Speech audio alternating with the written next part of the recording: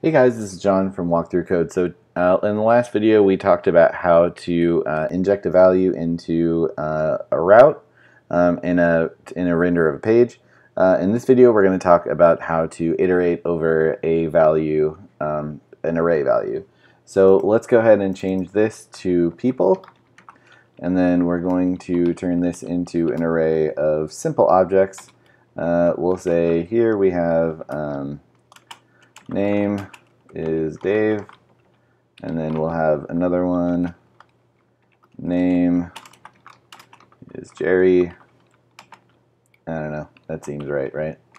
Um, okay. And then what we'll do very quickly is go into our index.ejs file. And then we're going to get rid of this hello world and we're going to make an unordered list.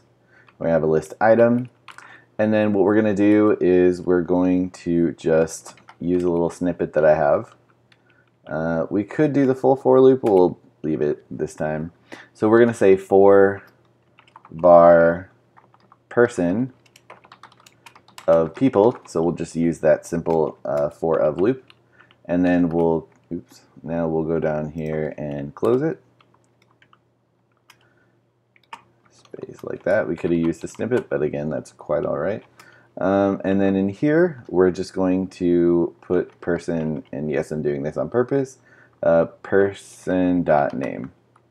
So let's go ahead and refresh this, and we see that we haven't started our server yet. That'll happen, nodemon. If you don't have nodemon, npm install uh, dash g nodemon. It's awesome. Every time you make a change to your server uh, that's not a view file, it'll restart it for you. Just a little nicety. So I'm going to refresh this and that's weird, right? We see person.name. Well, we have seemed to have forgotten that this also is a value that needs to be evaluated. So just like the last time, we're going to take our, our little uh, EJS tags at the equal sign, and when in here we're going to say person.name. And if we save this and we refresh, we have Dave and Jerry. So that's pretty much it for this video. Um, if you have any questions or comments, totally leave them in the uh, comment area below.